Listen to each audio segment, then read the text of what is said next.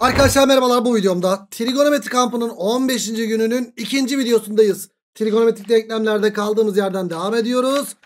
Yani kitabımızda sayfa numarası 104, 105, 106 ve 107'yi çözüp bu konu anlatımını bitireceğiz. Haydi bakalım dersimize başlayalım. Notta kalmıştık. Notta da diyor ki tanjant ve kotanjant içeren denklemlerde çözüm kümesinde tanjant veya kotanjantı tanımsız yapan değerler varsa çözüm kümesinden çıkarılır. Arkadaş Tanjantı düşünelim. Tanjant neydi arkadaşlar? İşte bu x eşittir 1 doğrusuydu. Nerede tanımsızdı? Hocam bak şuralarda hep tanımlı. 90'da tanımsız. Buralarda da hep tanımlı. Şurayı gösteriyor. Şöyle. Aa bak bir de 270'te tanımsız olmuyor mu? Yani tanjant eksenine değmiyor. Tanjant nerede tanımsız? Tanjant. Hocam 90 ve 270'te tanımsız. Peki kotanjanta bakalım. Kotanjant ekseninde bu ya. Kotanjant ekseni bak 90'da tanımlı yani en azından. Hop 0 derece tanımsız. Hop 180'den tanımsız. Yani kotanjantta 0 ve 270'te tanımsız olduğunu unutmayın. Ona göre ayağınızı denk alın. Hadi bakalım. Şuna bakalım. 0-2 pi aralığında böyle tanjant iki tanjantın çarpımı 1 verilmiş. Ee, ne yapacağız? Ya biz tanjant eşittir tanjantı biliyoruz ya da kotanjant eşittir kotanjantı biliyoruz. O zaman burada yalnız bırakalım. Tanjant 2x neye eşit? 1 bölü tanjant x'e eşit oldu. Aa 1 bölü tanjant x kotanjant x demek değil mi? Evet. Yani tanjant 2x eşittir kotanjant x demek. Ama hocam biz tanjant kotanjantı eşitleyen bir çözüm kümesi bilmiyoruz. Tanjant tanjantı eşit olması lazım. O zaman buradan da ne geliyor? Tanjant 2x eşittir tanjant 90 eksi x olmaz mı dostlar? Olur. Heh. 2x buna mı eşit olacak? Evet çözüm kümesi bulurken 2x eşittir 90 eksi x diyeceğiz. Yalnız artı bir de tanjantta k çarpı pi gelmiyor muydu? Yani k çarpı 180 gelmiyor muydu arkadaşım? Evet. Bunu attık öbür tarafa. 3x eşittir. 90 artı k çarpı 180'den x de böylelikle 3'e bölsen 30 artı 3'e bölsen k çarpı 60 mı yapıyor? Evet. Şimdi k yerine 0 koyalım. K yerine 0 koysam. K yerine işte 0 koysam ne yapıyor? 30 yapıyor. Ondan sonra 1 koysak 90 yapıyor. Ondan sonra 2 koysam kaç yapıyor? 120 artı 30'dan 150 yapıyor. 3 koysam hocam 180 artı 30'dan 210 yapar. 4 koysam ne yapar? 240 artı 30'dan 240 artı 30 270 yapar. Sonra aralığımız 0-2 aralığında değil mi? Evet. Sonra K yerine ne koysak? 5 koysak arkadaşlar. K yerine 5 koyunca 6 kere 30 330 yapıyor. 6 koysam 0-2 pi aralığından çıkıyor değil mi? Evet. Şimdi ama bu x. Arkadaşlar tanjant x ve tanjant 2x'e bakacağız değil mi? Tanjant içinde x de var 2x de var. Yani hem x'e hem de 2x'e bakmaya da dikkat edin arkadaşlar. Tanjant içindeki bu fonksiyonun ne olması lazım? Tanımsız yapan değerleri atmamız lazım. Yani burada ben x yerine 30 koyarsam 60'a 30 sıkıntı yok. Bu olur. 90 koyarsam olmaz. Burada tanjant 90'da tanımsız. Bu olmadı. 150 koyarsam 300'e 150 sıkıntı yok. 210 koyarsam herhangi bir sıkıntı var mı? 210 bu da 420 yapıyor sıkıntı yok. 270 koyarsam sıkıntı olmaz mı ya? Zaten 90 ve 270 de tanımsız oluyordu. Ve 330 koyarsak da oluyor mu sıkıntı olmaz galiba. iki katında da olmuyor.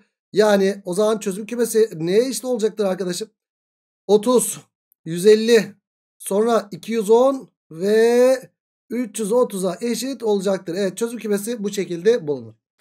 Geldik bir sonraki nota. Evet A sinüs x artı B kosinüs x eşit 0 şeklindeki Homojen denklemler tanjant x bulunarak kolaylıkla yapılabilir. Abi bu, bu tekniği biliyorsunuz. Yani homojenle homojenle kafanızı karıştırmak istemiyorum. Yani sen burada yaparsın şunu yaparsın. A sinüs x eşittir. Eksi b kosinüs x oluyor mesela. E buradan ne gelecek arkadaşım? Buradan böyle bu kosinüs x'i buraya atsan tanjant x eşittir. Eksi b bölü a oluyor mesela. Yani tanjant x falan yazaraktan da bir şekilde sonuca mutlaka ulaşıyorsun. E o yüzden burada hiç bunu bir özel bir not olarak algılama Yapabildiği şeyler zaten bunlar. Özellikle hem sinüs hem kosinüs varsa bu şekilde yapacaksın büyük ihtimalle. Mesela şu soruya bakalım. Bu soruya bakacak olursak bu soruda sinüs 2x neye eşit? Öbür tarafa attığımız zaman kök 3 çarpı kosinüs 2x'e eşit. At bunu buraya. Hocam sinüs 2x bölü kosinüs 2x yani tanjant 2x yapar. O da neye eşit oldu? Kök 3'e eşit oldu.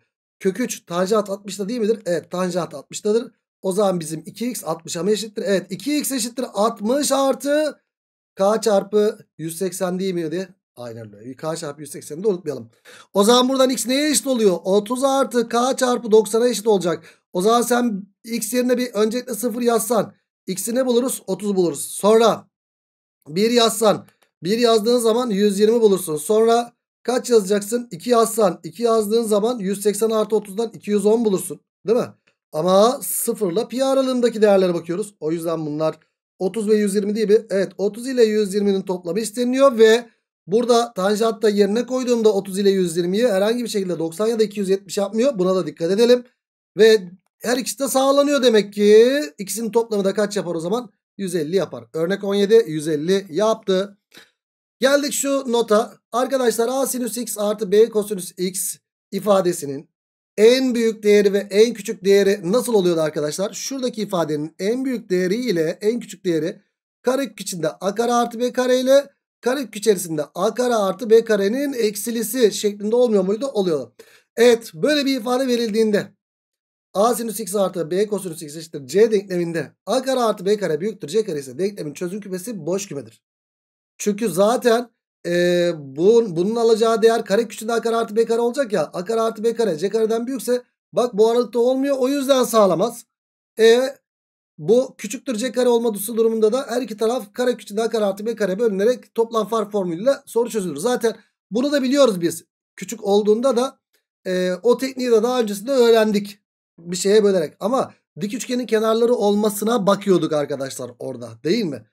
Evet dik üçgenin kenarları olmasına bakıyorduk. Ona dikkat edeceğiz. Bu tekniği de biliyoruz. Öncesinde zaten soruyu yaptığım zaman anlayacaksın. Mesela 0-2 pi aralığında 3 sin x artı 4 cos x eşittir k denklemi verilmiş ya burada. E, hocam burada bu k değeri ne olmak zorunda? Kesinlikle ama kesinlikle karekök içerisinde 3'ün karesi artı 4'ün karesi yani 25 yapıyor yani 5 yapıyor. 5 ile eksi 5 arasında olmak zorunda değil mi? Evet. K değeri 5 ile eksi 5 arasında. Tamam. Bir de k eşittir 5 için çözüm kümesi 2 elemanlıdır demiş. Hmm. K yerine 5 yazdığımız zaman denklemi 5'e bölelim bakalım. Hocam burası 3 bölü 5 sinüs x artı 4 bölü 5 kosinüs x eşittir 1 mi yaptı? Evet. E hocam 3 bölü 5 4 bölü 5 ya dik üçgen bir 3 4 5 üçgen çizsek buraya da bir alfa desek 3 5 3 4 5 üçgeni. A 3 bölü 5 neye eşit? Sinüs alfa eşit. O zaman burası sinüs alfa çarpı sinüs x oldu. Artı 4 bölü 5 o da kosinüs alfa. Kosinüs alfa oldu. Çarpı kosinüs x. Neye eşitmiş? 1'e. Tamam. Arkadaşlar kos kos artı sin sin kosinüs ax b'nin açılımı değil midir? Evet kosinüs alfa eksi x'in açılımıdır bu. E 1'e eşit ya. 1 nerede? Kosinüs sıfırda 1 değil mi arkadaşlar? Evet. E o zaman biz burada ne diyeceğiz arkadaşlar? Şunu diyeceğiz. Ya bizim alfa eksi x eşittir sıfırdır diyeceğiz ya da alfa eksi x nedir?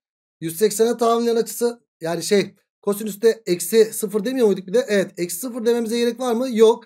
O zaman aynısı oluyor. Hiç bunu incelememize gerek yok. Sildik zaten bunu. E buradan ne geldi o zaman? Alfa eşittir x geldi. Evet alfa x'e eşit olduğu zaman arkadaşlar bu ne oluyor? K diğerine 5 yazdığımızda alfa x'e eşit olursa bu çözüm kümesini bulacağız. E o zaman tek elemanlı mı? Hayır. Hayır hayır hayır. Kosinüs kosinüse bakıyoruz ya biz. Hocam kosinüs her ikisi de burada mesela artı değil mi? Evet. Hocam başka kosinüs her ikisi nerede aynı işaretli. Ee, nerede işaretli? Aynı işaretli. E, bir de burada aynı işaretli.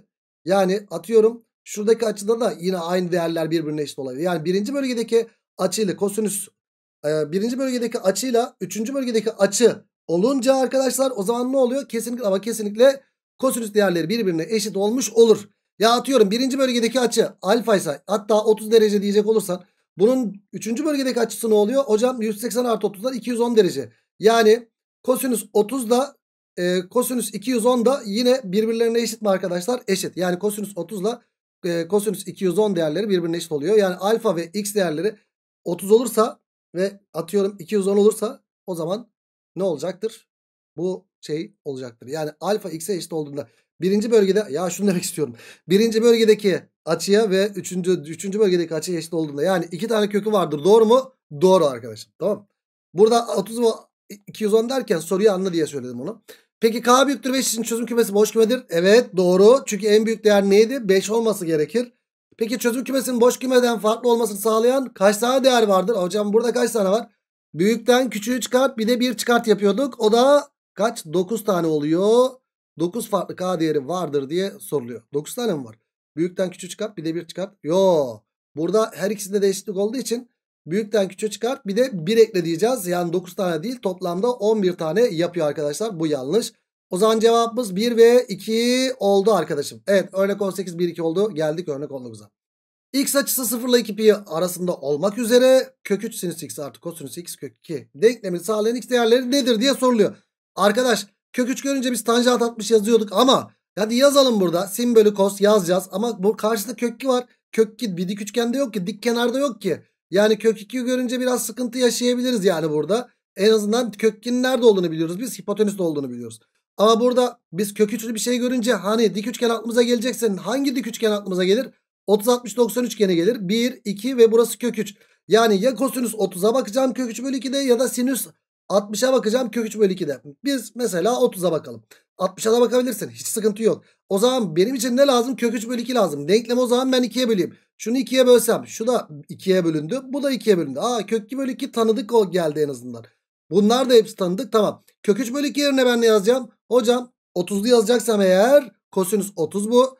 Kosinüs 30 çarpı sinüs x artı 1 bölü 2 yerine ne yazacağım? 30'lu başladım ya burada. 30'lu devam edeyim. 1 bölü 2 de sinüs 30 eşittir. Sinüs 30 çarpı kosinüs x eşittir. Bu da kök 2 bölü 2. Hadi kök 2 bölü 2'de de işte sinüs 45 mi yazayım? Kosinüs 45 mi yazayım? Şundan sonra yapayım isterseniz. Bakın kosin ko, sin kos. Ha sin kos artı sin kos. Sin kos artı sin kos. Sinüs a artı b'nin açılımı değil miydi? Evet sinüs x artı 30 işte ben şimdi sinüslü bir ifadenin sinüs eşit olduğunu biliyorum. O zaman bunu da sinüs diyeyim. Sinüs 45'e eşittir. O, bu, o zaman bu ne demek? Hocam bu açı direkt buna eşittir. Sinüslü bir ifade sinüse eşit olduğu zaman. X artı 30 eşittir 45 ya da X artı 30 eşittir. İkinci bölgede hani sinüsler 1 ve 2'de birbirlerine eşit olabiliyor ya. 180'e tamamlayanlar. Yani kaç yapıyor burası? 135 yapıyor. Ama artık k çarpı 360'ı unutmamak kaydıyla k çarpı 360'ı da burada yazalım. Arkadaş o zaman buradan x neye eşit oluyor? Hocam 15 artı k çarpı 360. Buradan x neye eşit oluyor? 105 artı k çarpı 360 oluyor. Şimdi biz k yerine 0 verecek olursak k yerine 0 yazdığımızda x 15 olabilir. Ee, sonuçta bu aralıkta bir de 105 olabilir. Şurası 360 ya. 105 olabilir. Süper. K yerine 1 yazarsam eğer hocam 360 aşıyor. Bu da 360 aşıyor. O zaman sadece burada değerler gelmiyor. Bu iki değer x değerlerinin toplamı isteniyor. 105 ile 15'in toplamı isteniyor. Yani cevap da böylelikle 120 yapar örnek 19'da. Geldik şu nota. Bir denklemde sadeleşen ifadelerin olması durumunda sakın sakın sakın ha. Ya bir kök isteniliyorsa bunu zaten daha öncesinden biliyoruz. Kök istenildiği zaman sadeleştirme yapılmaz. Tamam. Çünkü oradaki bir kökü sadeleştirmiş oluyorsunuz. Sakın ha sakın. Sakın sadeleştirme yapma. Hemen sorularına bakalım. Arkadaş burada sinüs 2x var. E burada da sin kare x var. Hmm. Burada ne yapabiliriz arkadaşım? Hocam burayı 2 sinüs x çarpı kosinüs x şeklinde açabilirim. Sin kare x ya burası. Aa hocam sinüslerin birer tanesi gitti. Dema. Dema öyle. Ne yapalım? Bunu öbür tarafa atalım. 2 sinüs x çarpı kosinüs x eksi sin kare x eşittir 0 yaptı. Sinüs x parantezine alalım. 2 kosinüs x eksi 1 eşit 0 yaptı. Ya bu sıfıra eşittir ya da bu sıfıra eşittir. Peki bu sıfıra eşitse sinüs x eşittir sıfırsa hocam sinüs x nerede sıfıra eşit? Hocam bir sıfır derecede bir de 0,2 pi aralığında bakacağım. Bir sıfır derecede eşit oluyor. Bir de nerede? 180 derecede eşit oluyor değil mi? Evet. Hocam niye? Burası sıfıra 1 ya. Pardon burası 1'e 0 ya. CYS şeklinde yazıyorsa bak sinüs 0 burada ya da CYS ya burası. Burası da eksi 1'e 0 ya. İşte bir 0 derecede bir de 180 derecede oluyor. Hocam 360'da da oluyor ama. Doğru doğru doğru 360'da da oluyor. 0-2 pi aralığında 2 pi de dahil olmak üzere diyor. Buradan 3 tane kök geldi mi geldi. Bir de neye bakacağım? Şunun 0'a eşit olduğuna. Yani 2 kosinüs x eksi 1 eşit 0 olduğunda 2 kosinüs x eşittir 1 yapar. Kosinüs x de buradan 1 bölü 2 yapar. Kosinüs x nerede 1 bölü 2? Hocam kosinüs x'in 1 bölü 2 olduğu değerler Şimdi bu kosinüs 60'da oluyor. Yani x 60 derecede olacak ya da x eksi 60 derece olacak. Artı k çarpı 360'da eklemeyi unutmuyoruz değil mi? k çarpı 360'ı. K yerine 0 yazarsam 60 kökü geldi buradan. k yerine 0 yazarsam eksi 60 kökü alınmaz. Ee, eksi 60 kök geldi bu alınmaz. k yerine 1 yazarsam 360'ı aşıyor. k yerine 1 yazarsam 300 derece mi yapıyor? 300 derece yapar. Evet 2 yazarsam artık hiçbir kök 0-2 pi aralığına gelmez. O zaman kaç tane var? 1, 2, 3, 4, 5. Yani cevap 5 tane olmuş oldu arkadaşlar. Örnek 20'yi 5 bulduk. Geldik örnek 21'e. Şimdi şöyle bir şey verilmiş. Hemen tanjant x'i düşünelim. Bu 2 sinüs x yani 2 2s artı s bölü c eşittir 0 değil midir? Evet. Şimdi burada ne yapabiliriz arkadaşlar? Hocam burada yapacağımız hamle belli. Direkt s parantezini alabiliriz. S parantezini alsak s 2 artı 1 bölü c eşittir 0 mı yapacak? Evet. Bu ne demek? Ya bu 0 demek yani ya sinüs x eşittir 0 demek ya da 2 artı 1 bölü c kosinüs kosinüs x eşittir 0 demek değil midir? Evet. Şimdi şuna bakalım. Sinüs x'in 0 olduğu değerler. Hocam 0-2 pi aralığında. 0 alır mı? Alır. Sonra 180 alır mı? Alır. Sonra ne alır mı? Bir de 360 alır mı? Alır. Sonuçta 360 bu aralıkta mı? Evet. Yani 0, 180 ve 360. E buna bakacağız şimdi arkadaşım. O zaman bunu öbür tarafa atalım. Bak bak bak neler oluyor. Hocam 2 eşittir. Şöyle yapalım. 1 bölü kosinüs x eşittir. Eksi 2 yapar. Kosinüs x de buradan eksi 1 bölü 2 mi yapar? Ters çevirdiğimiz zaman. Evet. Kosinüs x nerede? Eksi 1 bölü 2. Hocam x açısı. Yani normalde nerede? Hocam eksi 1 bölü 2 yaptığı değeri bulacağız değil mi? Kosinüs ikinci bölgede eksi 1 bölü 2. İkinci bölgedeki 60 derece değil midir? Yani 120 derece. 120'de yapar ya da eksi 120'de yapar. Ama artı k çarpı 360'ı unutmayacağız. Artı k çarpı 360'ı da unutmayacağız. O zaman bizim şeyimiz ne olacak? K yerine 0 yazarsam x 120 olur mu? Olur. 0 yazdığımızda eksi 120 olur mu? Olmaz. Bunu iptal ettik. 1 yazdığımızda 360 aşıyor. 1 yazdığımızda da 240 yapıyor mu? Yapıyor. Yani bizim kökümüz kaç tane olacak? 1, 2, 3, 4, 5 tane olacak. Ee, çözüm kümesini nasıl yazmış? İşte bu şekilde sayılar da olabilir. Ya da çöz cevaba bakıyorum hemen. Hop şöyle pil yazmış. Pil yazalım o zaman. O zaman çözüm kümesi arkadaşlar. İşte en küçük 0. 0 hallettik. Bak 0. Sonra 120. 120 nedir arkadaşlar? Pi bölü 3. 60'ın 2 katı 2 pi bölü 3. 2 pi bölü 3. Sonra ee, 180 var. Yani pi var. Sonra ne var? 240 var. 240 da arkadaşlar 60'ın 4 katı. 4 pi bölü 3. Pi bölü 3'ün 4 katı. Yani kafadan. Bir de 360 var bir de 2 pi var. Yani çözüm kümemiz de bu şekilde olacaktır gençler.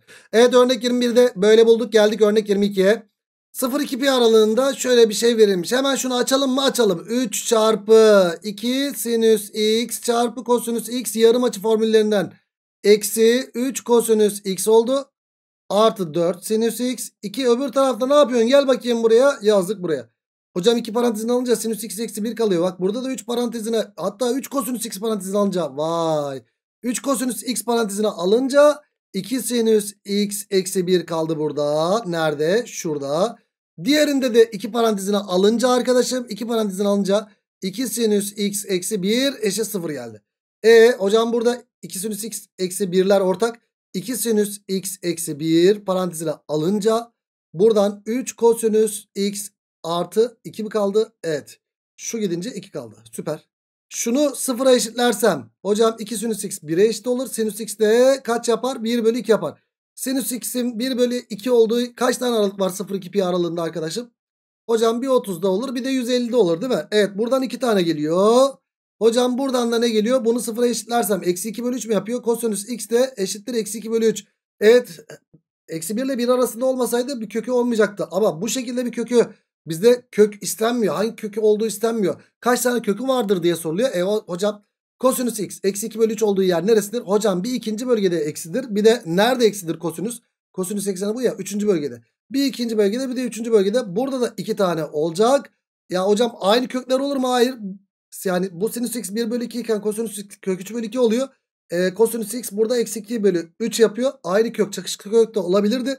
Ama olmadı. O zaman 2 tane buradan 2 tane de buradan toplamda 4 tane kök mü olmuş oluyor? Evet. Örnek 22 4 oldu. Geldik örnek 23'e.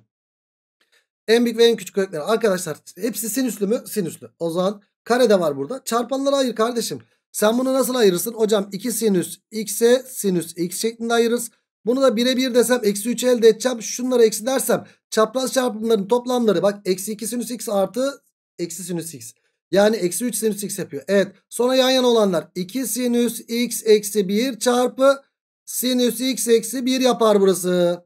Evet o zaman bunların çarpımı eşit sıfırmış. O zaman bir bu sıfır olacak bir de bu sıfır olacak. Şu sıfıra eşitse sinüs x demek 1 bölü 2 demek. Bu sıfıra eşitse hocam bu sıfıra eşitse şurası sinüs x de buradan kaç oluyor demek 1 demek. Kökler isteniyor benden. Sinüs x'in 1 bölü 2 olduğu yer 30 0 2 pi arasında. 30 ve 150 dediğim arkadaşım. Evet artık şey yazmayalım. 30 ve 150 artı k çarpı 2 pi falan yazmamıza gerek yok. Zaten 360 eklersek zaten bu aralık dışına çıkıyor. Tamam. 30 ve 150 sinüs x'in 1 olduğu yerler neresi? Hocam 90 ve 270 diyeceğim ama hayır sadece 90'da 1 yapıyor. En büyük ve en küçük köklerin toplamı isteniyor bizden. Yani şu ve şunun toplamı 30 artı 150 isteniyor. O zaman cevap 180 yapar. Evet cevabı 180 bulduk. Geldik örnek, örnek 24'e. Şöyle bir şey denmiş arkadaşım. Denklemin çözüm kümesi nedir? Ya burada kos kareli var. Burada sinüs x var. Allah aşkına bak kareli varsa büyük ihtimal çarpanlar ayımı vardı.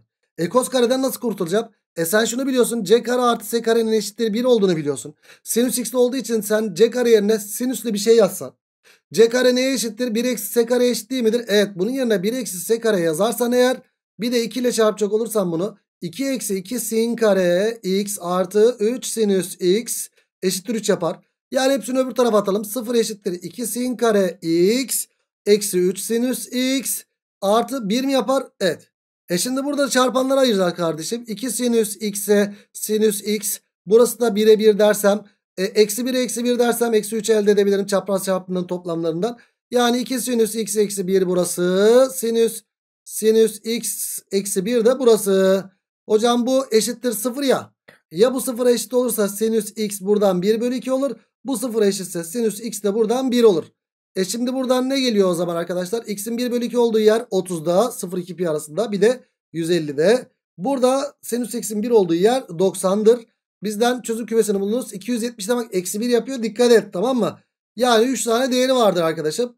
E, 30, 150. Yani pi'li de yazacak olursak çözüm kümesi o zaman pi bölü 6. 30'un da 5 katı. Sonra 5 pi bölü 6. Bir de ne var arkadaşlar?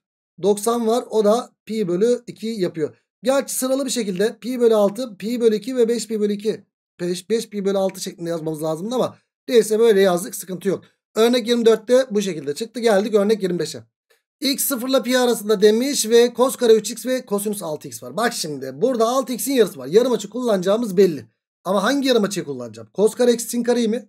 1 eksi 2 sin kareyi mi? Yoksa 2 cos kare eksi 1'i mi kullanacağım burada? Hocam kosinüslü bir ifade var ya burada. Kosinüslüsünü kullanalım. Yani burada bunun yerine ben ne yazayım? 2 cos kare 3x eksi 1'i kullanayım burada. O zaman buradan ne geliyor arkadaşlar? Bak düzenleyeyim bunu. Hocam cos kare 3x var zaten elimizde. Bir de 2 ile çarpmış olacak bunun. Artı 4 cos kare 3x eksi 2 mi var? 2 ile çarpmışında. Evet eşittir 1 bölü 2'den. Hocam burası toplamda 5 cos kare 3x eşittir 2 artı 1 bölü 2 artı 2 5 bölü 2 yapar. Buradan da ne geldi? 5'ler sadeleşti. Cos kare 3x buradan ne geldi? 1 bölü 2 geldi. Ha cos kare 3x 1 bölü 2 ise kosinüs x 3x pardon ne eşit olacaktır? Hocam 1 bölü kök 2 eşit olacaktır. Ya da kosinüs 3x neye eşit olur? Eksi 1 bölü kök 2 eşit olur. Dikkat edin. Eksi 1 bölü kök 2'nin karesi de 1 bölü 2 yapıyor değil mi? Evet ondan dolayı. E o zaman ne yapacağız burada? Bu ikisini de çözüm kümesini arayacağız ayrı ayrı. Şimdi bu ne demek? Kosinüs 3x'in 1 bölü 2 demesi. Yani bu kosinüs 45'te değil midir arkadaşlar? Kosinüslü bir ifade. Yani 3x ya 45 derece olacak ya da 3x eksi 45 derece olacak. Ama artı k çarpı 360'ı unutmuyoruz. Artı k çarpı 360'ı unutmuyoruz. Hocam 3'e böldüğümüzde x eşittir 15 artı k çarpı 120 gelir. Burada da 3'e böldüğümüzde eksi 15 artı k çarpı 120 geldi mi geldi. Şimdi burada x yerine kök yazalım bakalım. K yerine 0 yazalım. 0 yazdığımızda bir tane kökümüz ne oluyor arkadaşlar? 0 yazdığımızda buradan 15 geldi. 0 yazdığımızda eksi 15 geldi ama 0 pi arasında değil. Sonra 1 yazdığımızda bak şu eksi 15'i de yazayım isterseniz bu olmadı. Sonra 1 yazdığımızda 120 artı 15'ten 135 derece geldi buradan. Hocam burada da 1 yazdığımızda 120 eksi 15'ten 105 derece geldi. Evet 0 pi arasında. 2 yazdığım zaman aralık çıkıyor. 2 yazdığım zaman aralık çıkıyor. Evet buradan 3 tane değer geldi mi geldi. Şimdi buna bakalım. Eksi 1 bölü kök nerede? 135'te. Yani bu 3x eşittir 135 derece demek. ya da 3x derece eksi 135 demektir. Yalnız artı k çarpı 360'ı unutmuyoruz. k çarpı 360'ı unutmuyoruz.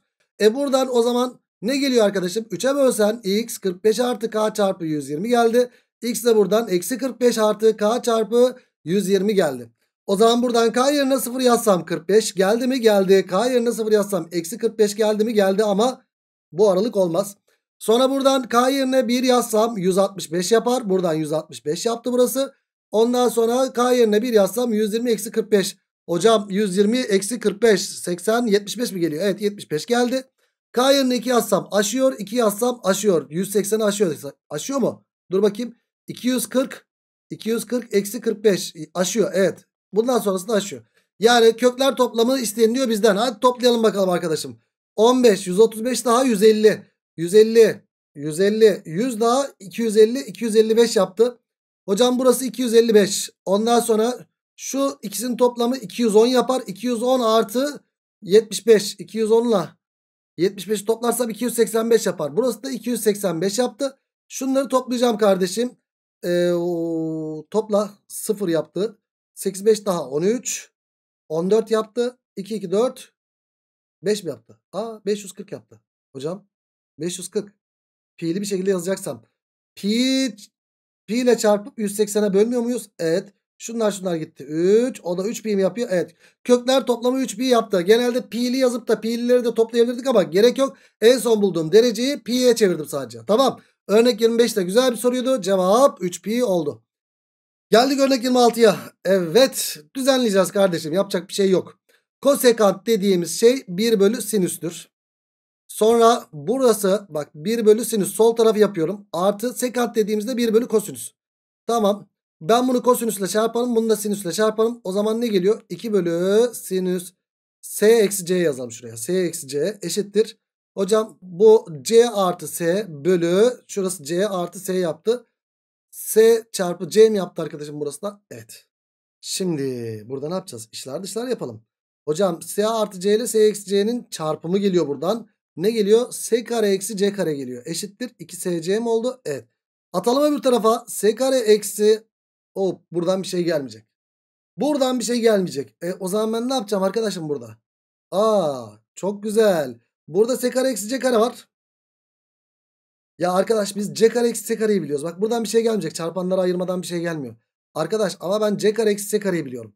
c kare eksi c kare neye eşit? Hocam cos kare x eksi sin kare x. c kare eksi c kare. Kosinüs 2x'in açılımı değil miydi kardeşim? Evet. Bak burası ne oldu? Hocam kosinüs 2x'in açılımı ama bu c kare eksi c kare eksilisi olacak. Bu da zaten 2sc de sinüs 2x'in açılımı değil mi? Evet. O zaman buradan bunu buraya bölü olarak attım. Eksi 1 kaldı buradan. Sinüs 2x bölü kosinüs 2x oldu burada. Hiçbir sadeleştirme falan da yapmadım. Yani tanjant 2x neye eşit oldu? Eksi 1'e eşit oldu. Vay.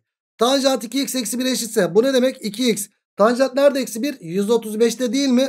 Aynen öyle. Hocam 135'te ama k çarpı pi'yi ne yapacağız? Radyan cinsinden isteniyor. O zaman radyan cinsinden yazalım. Burada ee, ne yazacağız? 135 3 pi bölü 4 değil midir? Evet 3 pi bölü 4 artı k çarpı pi'yi de eklemeyi unutmayacağız. 2'ye bölsen x ne yapıyor? 3 pi bölü 8 artı k pi bölü 2. Hocam k yerine 0 yazarsam en büyük açı isteniyor benden. K yerine 0 yazdığımızda 3 pi bölü 8 geldi. Bakalım daha büyüğü var mı? K yerine 1 yazarsam. Hocam k yerine 1 yazdığımızda 3 pi bölü 8 artı 1 yazdığımızda pi bölü 2 geldi buradan. Sen bunu 4 ile genişletirsin. 4 7 pi bölü 8 yapar burası. Değil mi? 7 pi bölü 8. Hocam daha büyüğü var mı? K yerine 2 yaz bakayım. K yerine 2 yazdığımızda da 3 pi bölü 8 artı pi yapar. O da kaç yapıyor? Arkadaşım sonuçta 3 pi bölü 2'yi geçiyor muyuz? Sanırım geçmiyor. 8 11 pi bölü 8 yapıyor. 11 pi bölü 8 yapıyor. Ama bundan sonrası K yerine 3 yazarsam aşıyor arkadaşlar 3 pi bölü 2'yi. O zaman 11 pi bölü 8 yapacaktır. Bizden en büyük açısı radyan cinsinden isteniyor. Cevap bu yaptı. İşi garantiye alalım mı? Bu 3 pi bölü 2'yi geçiyor mu geçmiyor mu diye bakalım. Şu 180. 180 bölü 8 nedir? 180'i ben 4'e bölsem 45. O zaman 45 22,5 yapıyor. 11 ile de 22,5'u çarptığımız zaman 3 pi bölü 2 geçmez değil mi? 11 ile 22,5'u çarpsam. 11 ile 20'yi çarpsam zaten kaç yapıyor? 220 yapıyor. Yok geçmiyor. Yani şey 270'i geçmiyor arkadaşlar. sıkıntı yok yani. O zaman cevabımız ne oldu? 11 pi bölü 8 yaptı arkadaşlar. Örnek 26. Geldik bir nota. Evet burada da demişiz ki ya bunlar arkadaşlar soruya baktığınız zaman yorumlamalarınızla olacak. Yani sen şöyle sin ve kosinüs ifadelerine bağlı ikinci derecede denklemlerde her iki taraf kos ya da kos kareye bölünerek tanjant ifadesine bağlı denklemler elde edilebilir. Ya bu bir teknik ya soruya bakıp o soruyu sen yorumlayacaksın. Mesela ben böyle bir soru görsem ya hocam ne yapabilirim? Ya burada şey yarım açıdan bir şey gelmiyor mesela. Hepsini aynı cinsten yazamıyorum. Hocam hepsini şey cinsten yazamam. Çünkü burası bir kere 2 sinüs x kosinüs x yapıyor zaten değil mi? Yani sinüs x çarpı kosinüs x çarpımı var. Hepsini aynı cinsten yapamıyorum. O yüzden ne yapabiliriz? O yüzden hepsini tek bir cins yapmak için denklemi böyle şeye bölebiliriz. Sinüse bölebiliriz, kosinüse bölebiliriz ya da tanjant elde etmeye çalışırız. Kosinüse ya da kos kareye bölebiliriz arkadaşım. Tamam. Çünkü bu zamana kadarki yaptıklarımızda ne oldu? Öyle bir hamle yaptık ki hep böyle güzel bir şeyler geldi. Dik üçgenler falan geldi. Mesela bir öncekinde ne yaptık? Böyle kendiliğinden işlemler yaptığımızda böyle bir şeyler geliyordu yani. Ama burada aynı cinsten yazamadığımız durumlarda ya da çarpanları ayıramadığımız durumlarda bu tanjant x aklımızda bir teknik olarak kalabilir.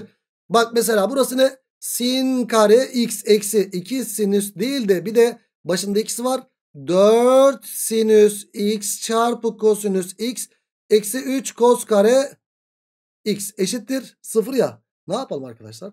Tanjantı elde edelim. Kos kareye bölelim. Kos kare x'e bölelim. Hocam kos kare x'e böldüm burada. Burayı da kos kare x'e böldüm. Burayı da kos kare x'e bölünce hocam burası tanjant kare x yaptı. Artı.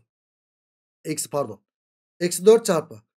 Bunlar bunlar gitti mi? Kosinüsler evet 4 sin x bölü cos x yani 4 tanjant x yapar. E hocam şunlar da gitti. Eksi 3 eşittir 0 oldu. Ve buradan çarpanlar ayrılıyor mu diye bakarız hemen. Hocam tanjant x'e tanjant x ama burada eksi 3 ve artı 1 dersem eksi 4'ü elde edemem. Ya da artı 3 ve eksi 1'den. E ne yapacağım hocam? Kökleri böyle bulamayacağım sanki gibi geliyor ama tanjant x ifadesinin alacağı değerler toplamı nedir diye soruyor. Tanjant x'in değerler toplamı isteniyor. Arkadaşlar kökler toplamından yapacağız. Hiç çarpanları ayırma. Kökler toplamı nedir burada? Eksi b bölü a değil miydi? Evet. Yani kökler toplamı eksi eksi 4 bölü a. a dediğimizde hani x karenin katsayısıydı. Yani burada tanjant karenin katsayısıydı. O yüzden cevap ne oldu arkadaşım? 4 oldu. Öyle her zaman çarpanlara ayrılmayabilir. Çarpanlara diskriminanttan da ayırıp bulabilirsin ama gerek yok. Tanjant x'in alacağı değerleri toplamı isteniyor bizden. O da kökler toplamı yani cevap 4 artı. Evet geldik bir sonraki soruya. O 1 artı. Ya bunun bir kalıbı vardı ama biz bunu ezberlemeyecektik. Ne yapıyorduk? Arkadaşlar 1 dediğimiz yere tanjant 45 yazacak olursan. Tan artı tan bölü 1 eksi tan tan. Bak burası da 1 var ya aslında burası da tanjant 45 demek değil mi? Evet. Tan artı tan bölü 1 eksi tan tan olduğu için yukarısı ne oldu? Tanjant 45 artı x oldu. Süper. E, bu kotanjant buna eşitmiş. Boş ver kotanjantı. Biz tanjantı biliyoruz.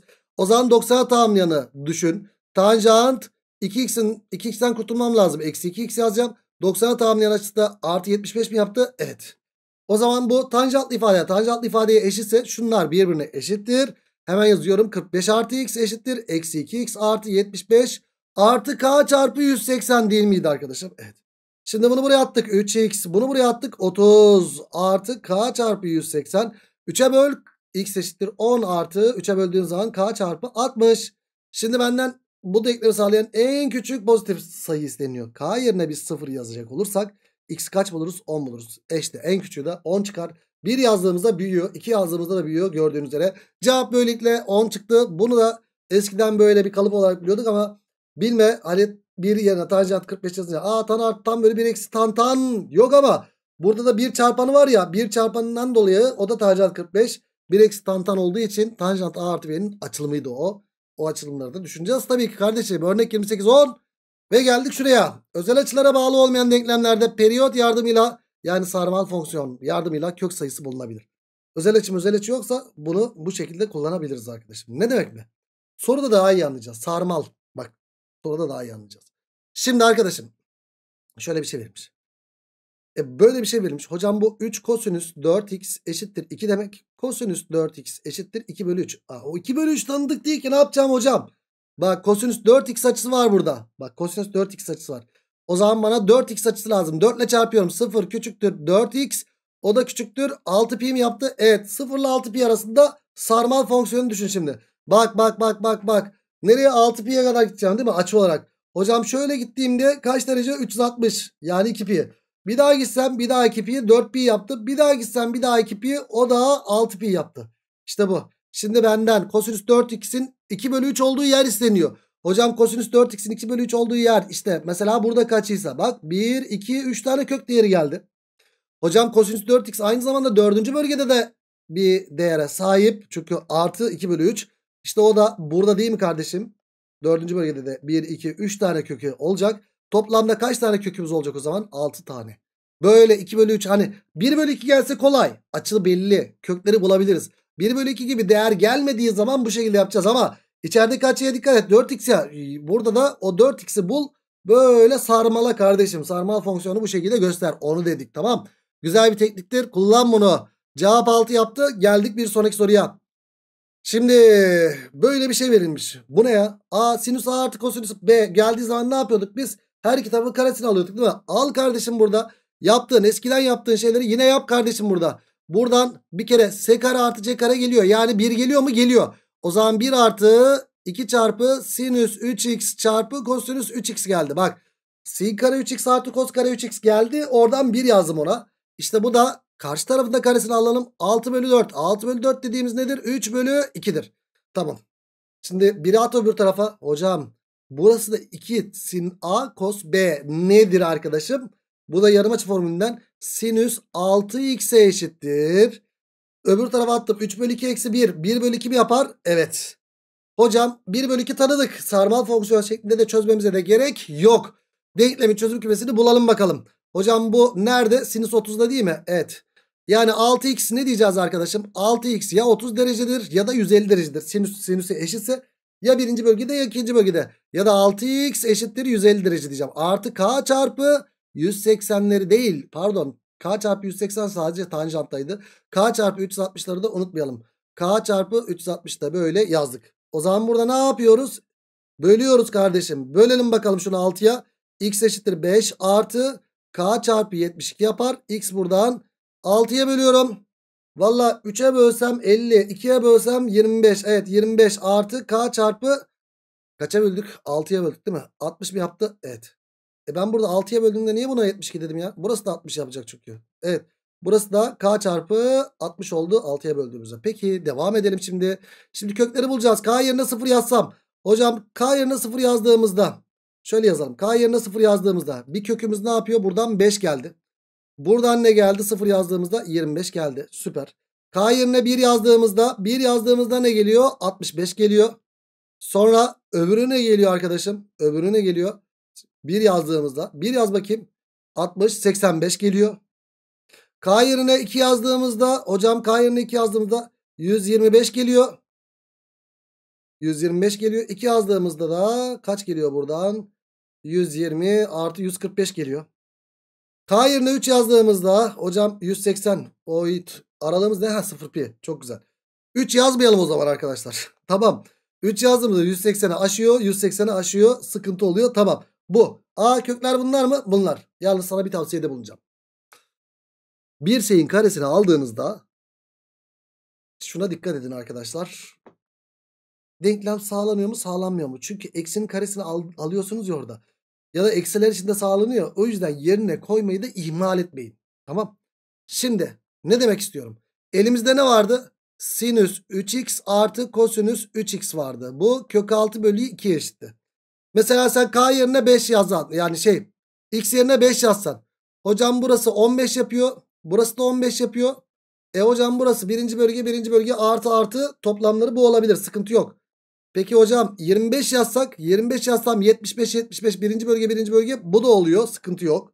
65 yazsak bak 6 kere 3 10 6 kere 3 18 180 bu 3. bölgede. 3. bölgede sinüs değeri eksi kosinüs değeri de eksi.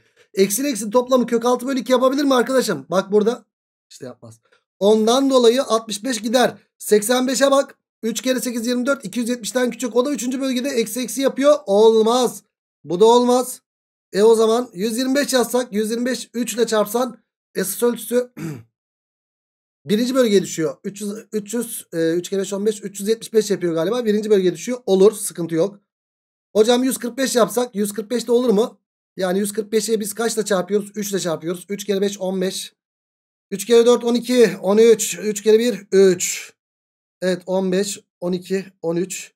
3 kere 1 3 4. 435 yaptı. Esas ölçüsü kaç yapıyor? 360 çıkarsam. 435'ten 360 çıkarttığım zaman ne oluyor arkadaşım? 5 burası. 435 miydi burası? Evet. Şu 6 6 12. E, 13'ten 6 çıkınca 7 kalıyor burası. Tamam 75. 75 de birinci bölgede. Bu da oluyor mu? Oluyor. Arkadaşım.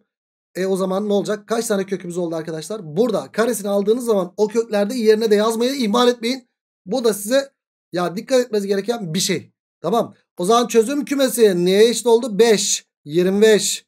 Bak 125 ve 145 yaptı mı? Yaptı. Evet cevap bu şekilde bulduk. Geldik örnek 31'e. Aşağıda dik üçgenin kenar uzunlukları ve alfa açısı gösterilmiştir. X dar açı olmak üzere. 6 sinüs x artı 4 kosinüs x eşittir kök 13 denklemi veriliyor. X ile alfa arasındaki bağıntıyı bulunuz diyor bize. Şimdi arkadaşlar alfa verilmiş bana. E burada 2 var 3 var. E tanjant alfa belli aslında 2 bölü 3 değil mi? Hatta kök 13 de var. 4, 9, 13. Yani burası kök 13 değil mi? Evet. E o zaman ben burada bunların hepsini şey yapacağım. E ben burada ne yapayım? Denklemi şöyle bir kök 13'e böleyim bakayım. Kök 13'e böldüğüm zaman ne geliyor arkadaşım? Hocam 6 bölü kök 13. Yo 6'yı sevmedim. Ne lazım bana? 3 bölü kök 13 lazım. Dik üçgeni de kullanabilmek için. O zaman burada bir 2'ye bölelim mi öncelikle bunu? Bölelim. 2'ye böldüğümüz zaman 3. Burası 2. Burası da ne oldu? Kök 13 bölü 2 mi oldu? Evet. Şimdi ne yapalım? Kök 13'e bölelim. En azından 3 bölü kök 13 bölü yani 3 bölü kök 13 geliyor. O zaman kök 13'e böldüğüm zaman da 3 bölü kök 13 sinüs x çarpı 2 bölü pardon artı 2 bölü kök 13 kosinüs x eşittir kök kök 13'e bölmüş müydük? Evet kök 13'e bölünce de burada ne kalıyor arkadaşlar? 1 kalıyor. Hatta 1 bölü 2 kaldı mı kaldı. Tamam devam edelim. Hocam 3 bölü kök 13 alfalı bir şekilde yazacak olursam kosinüsü değil midir? Evet. Yani kosinüs alfa çarpı sinüs x oldu burası. Artı 2 bölü 13'te alfanın karşısı. Yani e, ne diyoruz? Sinüs alfa çarpı kosinüs x oldu. Şimdi burada 1 bölü 2 de sinüs 30 da yazabilirim. Kosinüs 60 da yazabilirim. Ama şuradan belli olacak zaten. Sin kos artı sin kos olduğu için sinüs alfa artı x olmadı mı burası? Evet. Sinüs alfa artı x ne eşit oluyor o zaman arkadaşım? Buna. Yani 1 bölü 2 dediğimiz nedir? Sinüs 30 değil midir? Aynen öyle. Bizden zaten açı arasındaki bağıntı isteniliyor. Arkadaş 30 dediğimizde aslında pi bölü 6'dır. Büyük ihtimal pi bölü pi'li verilmiştir. Bakacağız ona. O zaman bu ne demek arkadaşlar? Ya bu buna eşittir. Hocam ya alfa artı x eşittir pi bölü 6'ya eşittir. Ya da alfa artı x eşittir pi bölü 6 artı 180. 180 eksilisi olacak. 180'den pi bölü 6'yı çıkartacağım. Yani 180 eksi 30. 180 eksi 30 kaç? 150. 156 artı k çarpı pi şeklinde gidecektir. k çarpı 360 şeklinde gidecektir. Burada da k çarpı 360 şeklinde gidecektir. Ama dar açı diyor ya k çarpı 360'ları düşünmeyelim. E, alfa artı x 150 olabilir mi? Onu düşünelim. Ya alfa artı x bir kere pi bölü 6 olabilir. Bunda herhangi bir sıkıntı yok. Hocam alfa artı x 150 olabilir mi? Şimdi x dar açıydı. Hocam alfa da dar açı ama alfaya dikkat et. Aa 2 bölü 3 dikkat. Şöyle 3 bölü 3 olmuş olsaydı bu 45 derece olacaktı. Alfa 45'ten küçük. Alfa 45'ten küçükse eğer bu alfa 45'ten küçükse x açısına bak. 40, mesela 40 yazdığın zaman 110 yapıyor. Geniş açı yapıyor. O zaman bu değer sağlanıyor mu? Sağlanmıyor. Vay bu da güzelmiş ha. Dikkat. Böyle alfaya baktığınızda 2 bölü 3 geldi ya. Tanjant alfası 2 bölü 3. Yani birden küçükse direkt 45'ten küçük diyebiliriz. Burada da çok güzel bir yorum yaptırdı. Alfa 45'ten küçük. Toplamları da 150 ise eğer o zaman x açısı kesinlikle ama kesinlikle geniş çıktı burada. X ile alfa arasındaki bağıntı bu şekilde oldu. Alfa artı x eşittir pi bölü 6 oldu. Öbüründe alfa artı x eşittir işte e, 150. Yani 5 pi bölü 6 da yazılabilirdi ama o zaman dar açı muhabbeti sağlanmıyordu. Gerçekten bu anlamda güzel bir soruymuş. Örnek 31. Alfa artı x eşittir pi bölü 6. Geldik örnek 32'ye. Bir üzeri var burada bir de eksi 1 var. Eksi 1'i öbür tarafa atalım bakalım ne oluyor. Hocam kosinüs x eksi 1 bölü 2 üzeri sinüs 2x neye eşit olacakmış? 1'e eşit olacakmış. Ha, üstü sayılarda 1'e eşit olma. Mesela a üzeri b eşittir 1 ise 3 durum var. Ya A eşittir 1'dir. Birinci durum bu. Ya da A eşittir eksi 1 iken B'nin de olması lazım. Çift olması lazım. İkinci durum bu. Ya da B'nin direkt ne olması lazım arkadaşlar? A üzeri 0 1'e eşit değil mi? Evet. Yani direkt B'nin de 0'a eşit olması lazım. O zaman 3 durum var. Haydi bakalım. Birinci durumu inceleyelim. Birinci durum yani A eşittir 1 tabanın 1 olması. Kosinüs x eksi 1 bölü 2 eşittir 1 ise kosinüs x eşittir 3 bölü 2 yapar. Buradan x hangi değeri alır? Almaz. Hiçbir değeri almaz. Çünkü kosinüs fonksiyonu eksi 1 ile artı 1 arasında burası 1,5 yaptı. Böyle bir durum söz konusu değil. İkinci duruma gelelim. A eksi 1 iken yani taban eksi 1 iken şurası kosinüs x eksi 1 bölü 2 eşittir eksi 1 iken o zaman ne? B'nin çift olması lazım. Ama sinüs 2x'in çift olma durumuna bakacağım. Sinüs 2x çift. Arkasında eksi 1 ile artı 1 arasında çift olan sayı hangisi? 0 değil midir? Evet. Sinüs 2x'in 0 olma durumuna bakacağım. Arkadaş zaten ben burada üçüncüsünde de zaten sinüs 2x'in 0 olma durumunu incelemeyeceğim mi? Evet. Yalnız şuna da dikkat edin. Sinüs 2x 0'a eşit olduğunda e, şuradaki ifadenin 0 olmaması lazım. Yani bu eşit değil 0 olması lazım. Değil mi? 0 üzeri 0 da olmaz çünkü bu. Değil mi? Bir de buna dikkat etmek lazım. E hadi o zaman şunu inceleyelim. Yani şurada bunu incelemektense direkt bunu inceleyelim değil mi? Hadi bakalım inceleyelim. Sinüs 2x'in 0 olma durumu. Sinüs nerede 0? Dok 90'da değil 0'da değil mi? Evet. Hocam 2x açısı direkt 0 derece ya da 2x açısı direkt ne olur arkadaşlar? Hani sinüsü incelerken 180 eksi alfa şeklinde de incelemiyor muyduk? Yani 180 eksi 0 şeklinde olur. Ama artı k çarpı 360'ı da unutmayacağız. Artı k çarpı 360'ı unutmayacağız. O zaman x buradan neye eşit olur? 0 bölü 2 0. E, 0 artı k çarpı 180 yaptı. Buradan buradan x neye eşit oldu? 90 artı k çarpı 180'e eşit oldu. Şimdi 0 2 pi arasındaki değerleri arayacağım. Arkadaşlar k yerine 0 yazarsam k yerine 0 yazdığımızda hangi değerleri alıyor? Bir 0 alacak. 0 yazdığımızda bir de 90 alacak. Hocam 0 2 pi arasında olacağı için 0'ı alamam. K yerine 1 yazdığım zaman K yerine 1 yazdığım zaman o zaman 180 yapıyor. O zaman 180 değerini alır. 1 yazdığım zaman 180 artı 90'dan 270 değerini alır. K yerine 2 yazdığımızda da artık 360 aşıyor 0,2 pi aralığını. Yani kaç tane değer almış oluyor o zaman? 3 tane değer almış oluyor. Ama dur. Şimdi bu sinüs 2x'in 0 olma durumu. Sinüs 2x 0 olursa buradasının ne olmaması lazım arkadaşlar? Eşit değil 0 olması lazım. Şimdi o zaman ben burada x yerine 90 yazarsam x yerine 90 yazdığımda kosinüs 90 kaç yapıyor arkadaşlar?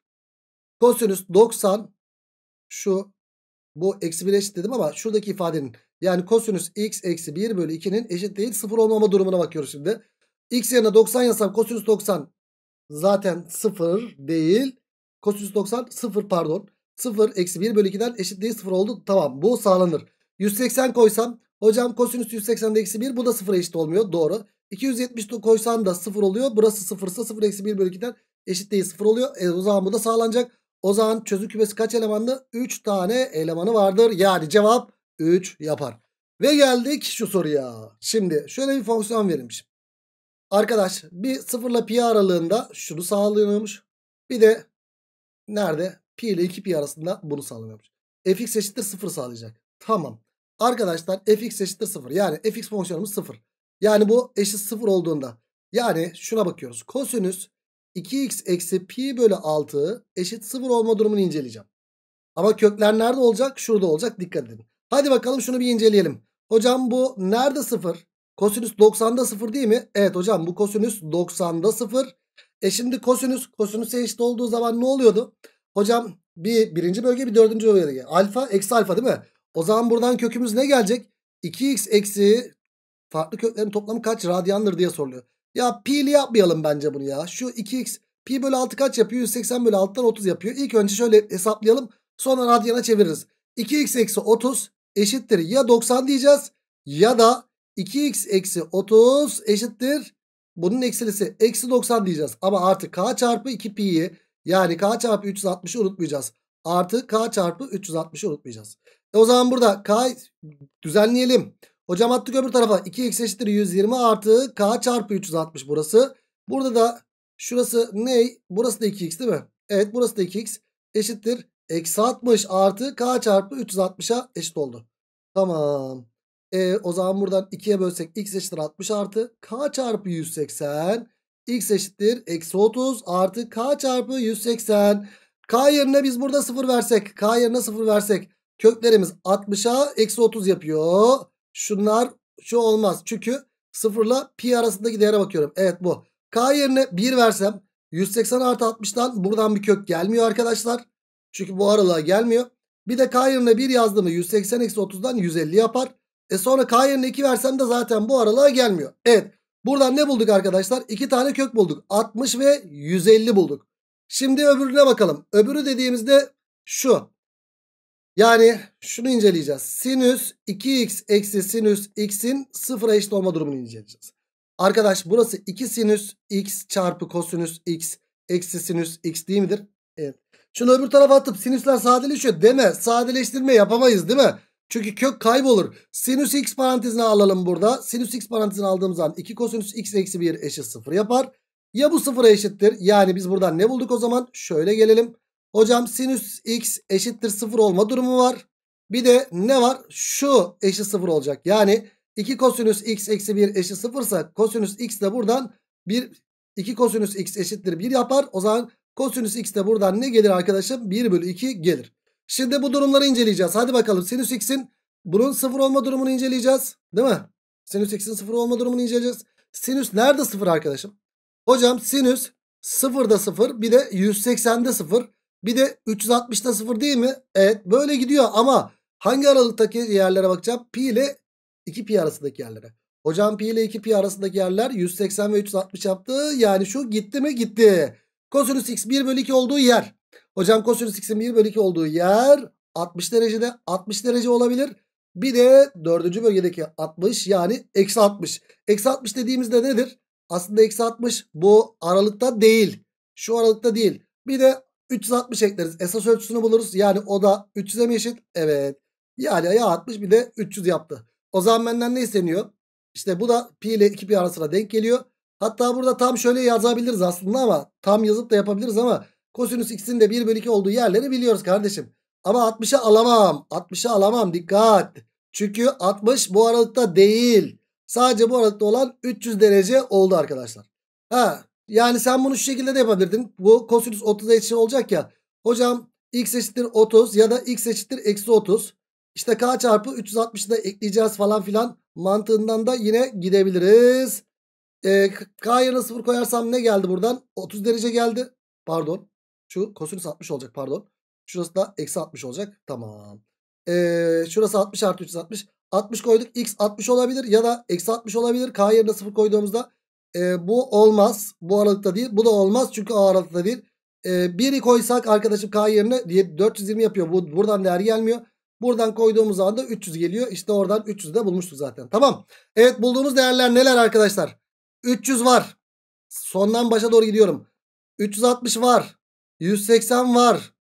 Artı ne var? 60 var 150 var değil mi? 60 var 150 var. İşte bunların toplamı isteniyor arkadaşlar bizden. Şimdi arkadaş şu 360 2 pi yaptı. Bu da 360 2 pi yaptı. Yani toplamda 4 pi yaptı mı? Evet 4 pi yaptı. Şu da pi yani 5 pi yaptı. E bunları 5 pi. 150 de nedir arkadaşlar? 150'yi bulurken nasıl buluyoruz? Hocam 150'yi pi ile çarpıp 180'e bölüyorduk değil mi? Şunlar sadeleşti böyle. 3'e bölsen 5. 3'e bölsen 6. 5 pi bölü 6 yaptı. O zaman 6 kere 5 30 artı 5. 35 pi bölü 6 yaptı arkadaşlar. Buradaki köklerin hepsinin toplamı. Yani örnek 33'de 35 pi bölü 6 bulduk. Ve vay bitti. Evet konu anlatımı bitti arkadaşlar trigonometride. O zaman ne diyoruz? Bir sonraki videoda görüşmek dileğiyle kendine iyi bak. Hoşçakal.